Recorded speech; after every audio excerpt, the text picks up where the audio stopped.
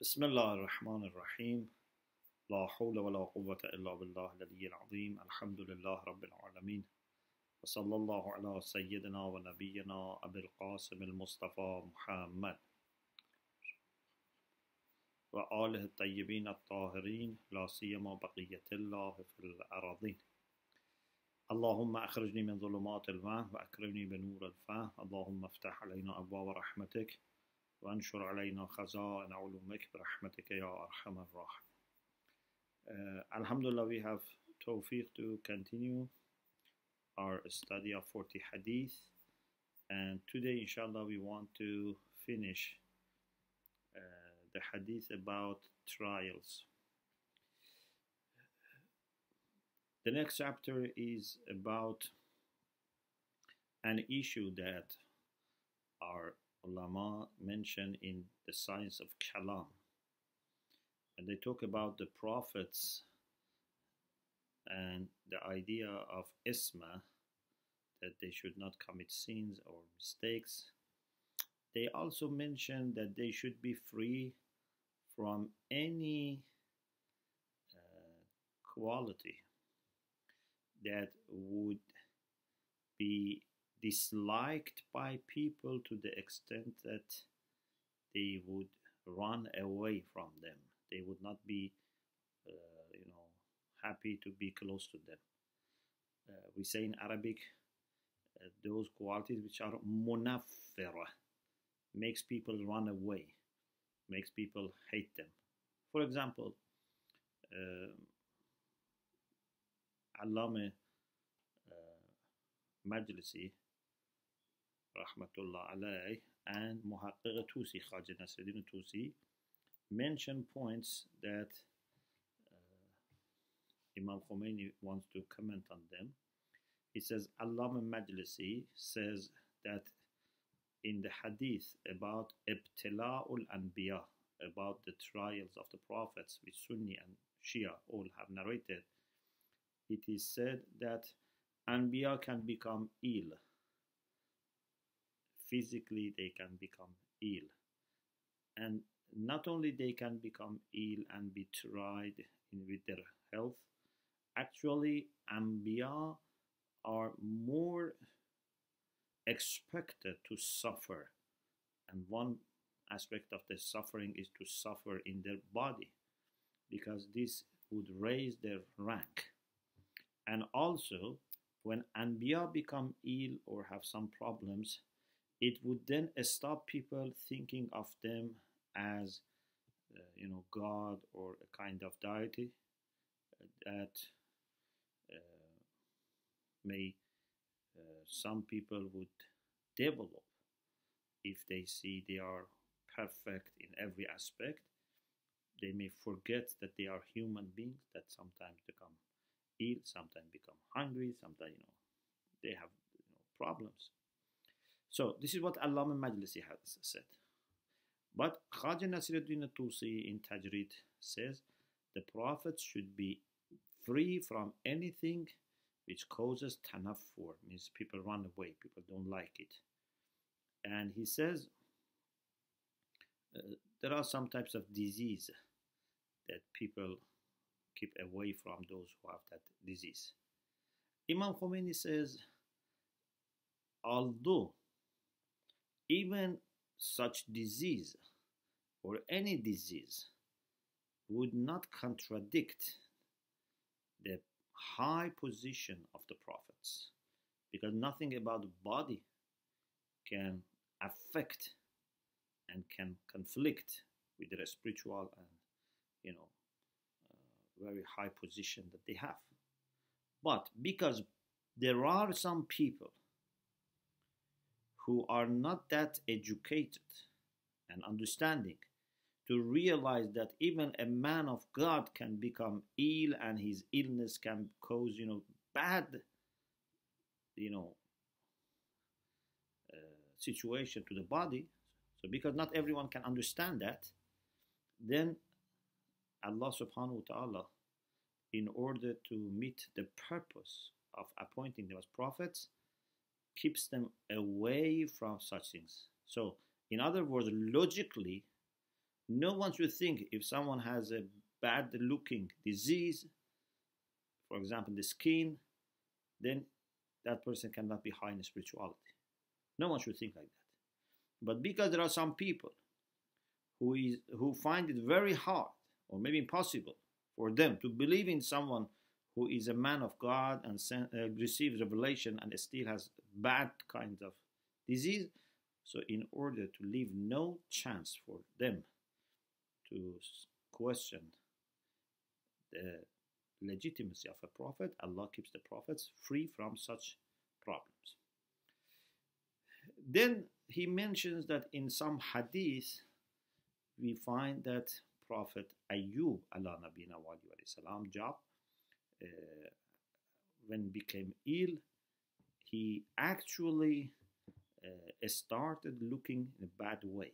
According to some hadith, there were, for example, uh, worms in his flesh and his skin was damaged you know very badly. So people didn't like and he was smelling badly. So people didn't want to look at him or be close to him.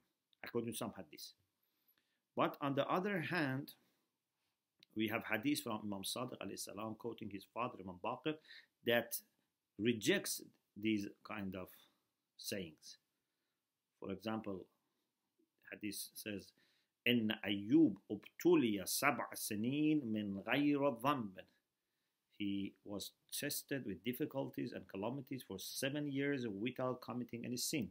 So it was not a punishment, because some people, you know, used to tell him that if uh, you suffer, it's because you have committed sin. وَإِنَّ الْأَنْبِيَاء لَا يُذْنَبُونَ The prophets don't commit sins. Why?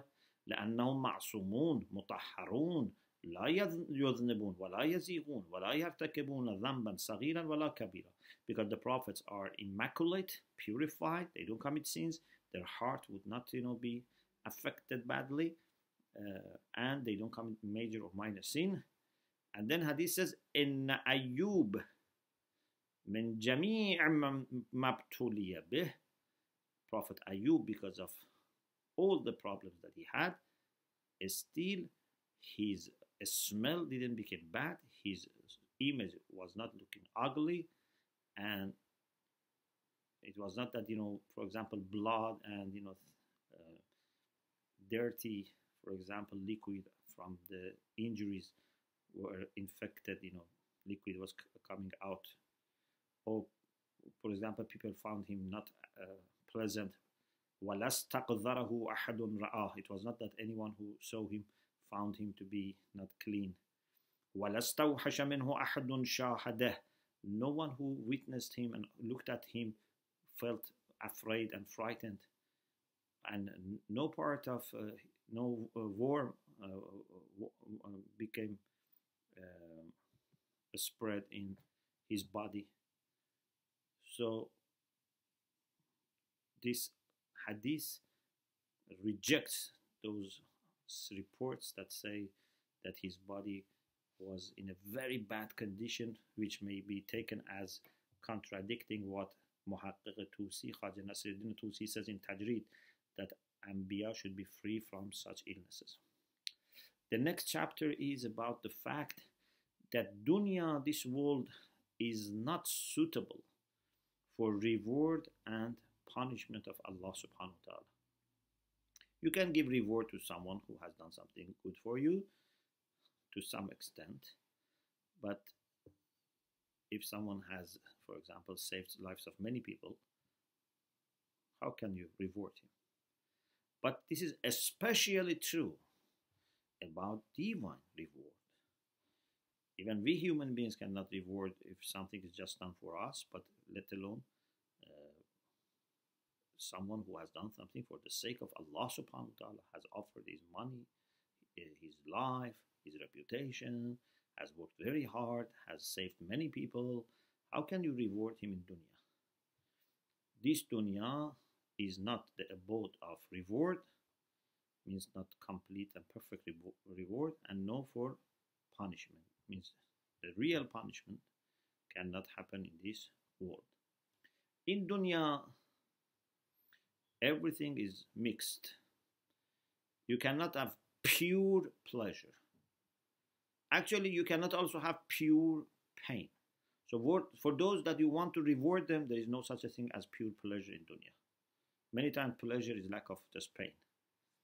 And also for those who want to be punished, you want to punish them, there is no pure pain here. Most of the pains here, almost all, they are mixed with some kind of pleasure. It's not 100% pleasure, not, not also 100% pain. It's mixed.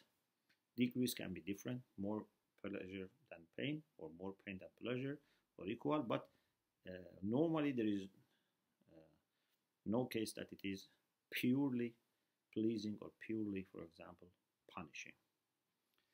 Then he also says another thing is that in dunya you should not expect people to be quickly uh, rewarded or punished. Sometimes it takes time, especially when it comes to punishment. Don't expect that when someone says something wrong, for example, if someone is lying or someone is doing you know something wrong or you know doing zulm, for example, in particular, don't expect that immediately that person should be punished. No, this dunya is for test and people should be given time. Maybe that person repents later, maybe that person compensates, maybe that person becomes worse. So we should not uh, quickly close the case. We have to let it carry on and give the person opportunity to reflect on their behavior. Maybe they decide to stop, maybe they start to continue, and so on and so forth. So this is very important that we realize that this world is not the ultimate abode for us, is not where we get the reward and punishment completely. And if also someone does something bad, maybe actually not only he is not quickly punished, maybe in some cases when he was warned and warned, he insisted, maybe actually when he does something bad, he would be receiving something good from dunya. This is istidraj, that sometimes people get something from dunya because they have not been looking after themselves, they didn't repair the damage they have caused. It's like, as I said last week, it's a fire in a floor. If you don't extinguish it, it can go to other floors. So their problem can increase. Another thing is that uh, the intensity of the calamities and trials also depends on the intensity of understanding. People who are more understanding, more intelligent, more intellectual, they would uh, suffer more, especially with respect to the things which are spiritual and intellectual and mental. So Imam Khomeini says هرچه ادراکات کاملتر و روحانیات قوی روحانیت قوی تر باشد بلیات بیشتر و ادراک ناملایمات افزون گردد the more complete the more perfect the understanding and perceptions become the more spiritual someone becomes the more calamities would have he or she and would have also more understanding of the problems. And he says, Rasulullah is quoted as saying, Ma udhiya nabiyyun misla ma. No prophet has been annoyed like me. And he says, one interpretation of this is that because Rasulullah had more understanding and better understanding of glory and beauty and greatness of God and his position and what he deserves. So for him, seeing people sinning was very, very painful and hurting him a lot. In general, those who are closer to Allah's mercy and love, when they see people going astray, when they see people have problems, they are more disturbed and they are more uh, in pain. Of course, Rasulullah sallallahu alaihi wasallam was the one that had greatest understanding and therefore greatest uh, pain, and he was hurt and annoyed more than any other prophet. Okay, Alhamdulillah, we finished hadith number 15, and inshallah, next session we will talk about hadith number 16 وآخر دعوانا أن الحمد لله رب العالمين.